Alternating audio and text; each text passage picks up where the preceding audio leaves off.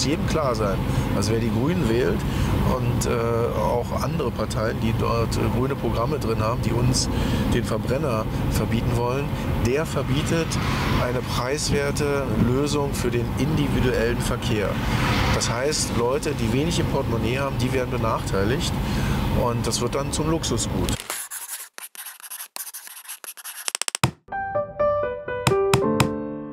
Herr Couturier, es heißt ja gerne mal auch von Leuten aus unserer Blase, wobei die dann meistens eher so die Altparteien meinen, die Politiker der Altparteien, die Politiker würden in Deutschland zu viel Geld verdienen. Ich finde das nicht.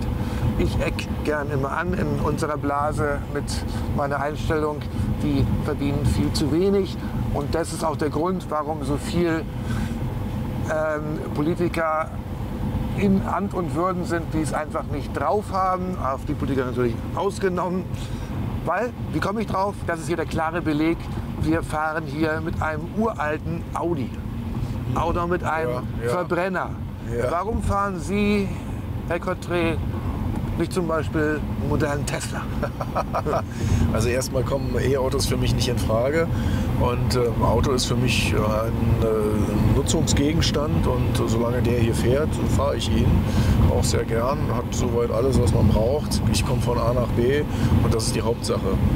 Und äh, ja, E-Mobilität ist ja nur deshalb bei uns so, weil sie Geld des Steuerzahlers äh, bekommt. Das heißt, äh, so ein E-Auto wird ja äh, subventioniert, äh, die ganze Technik wird subventioniert. Und nur deshalb gibt es die E-Autos. Und am Markt würden sie sich gar nicht äh, durchsetzen normalerweise. Und natürlich äh, wird diese E-Mobilität ähm, propagiert, ideologischerweise, äh, mit Attributen, die sie gar nicht hat. Also da wird immer gesagt, es ist CO2-arm, stimmt ja gar nicht. Der Strom, äh, den sie verbrauchen, der ist genau der gleiche Strom wie andere auch, also mit Kernenergie, Kohle unter anderem. Aber das ist nicht das Kriterium. Jeder, der so ein E-Auto haben möchte, der soll es auch durchaus haben. Nur muss er dann selber dafür aufkommen. Und die Infrastruktur sollte nicht der Steuerbezahler zahlen, sondern eben derjenige, der sie nutzt, der das E-Auto halt äh, sich, sich leisten möchte. Das ist ein Luxusgut, soll er machen. Leider wird aber jetzt hier subventioniert, dem Steuerzahler das Geld weggenommen. Und das ohne Not. Wir haben einen Verbrenner, wir haben mit äh, der neuesten Dieseltechnologie also durchaus auch einen ganz, ganz niedrigen CO2-Verbrauch, wer denn äh, so argumentieren möchte. Und im Übrigen äh, ist äh, die neueste Dieseltechnologie umweltfreundlich und äh, ja, dem ist also nur ideologisch. Äh, le- legen, legen die Linksgrünen dem, der Dieseltechnologie was im Weg. Wahrscheinlich, wenn man alles zusammennimmt, sogar noch umweltfreundlicher als ein E-Auto. Ne? Also im Moment ja. Wir wissen ja, dass äh, solche, solcher, solches E-Auto sich erst ab 200.000 Kilometern rechnen würde. Bis dahin brechen die Batterien zusammen. Äh, die machen die Hälfte des Wertes eines E-Autos aus. Äh, und dann können wir uns ausrechnen, ähm, ja, dass sie gar nicht in die Nähe der Umweltfreundlichkeit eines Dieselautos kommen.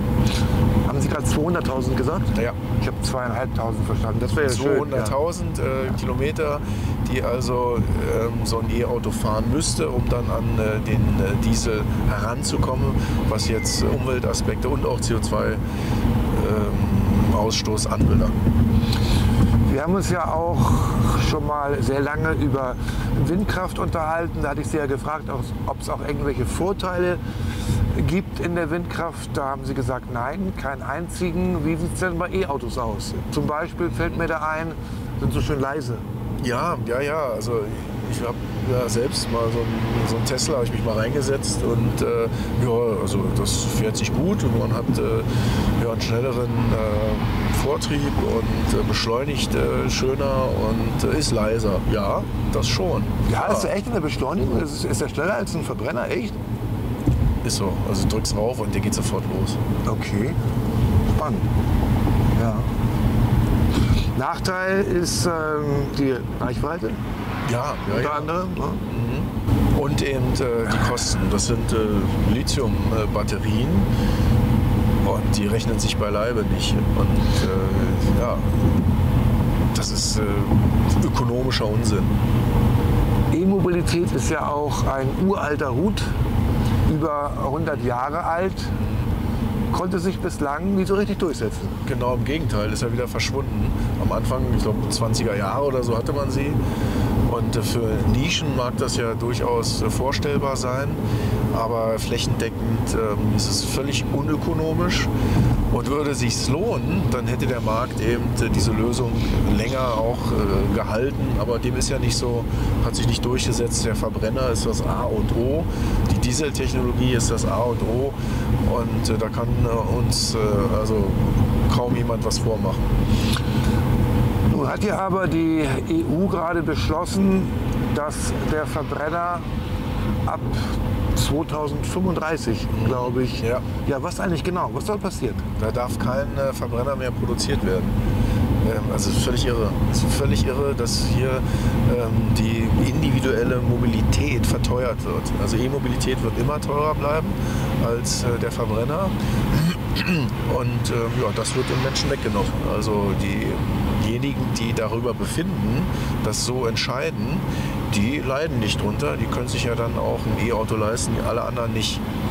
Ich bin äh, Laie bei dem Thema. Ähm, könnte es nicht sein, wenn die Batterien immer kleiner und leichter und leistungsstärker werden, dass es dann doch irgendwann günstiger wird als die Verbrenner? Ähm, das ist ja das ganz Fatale, dass man das suggeriert.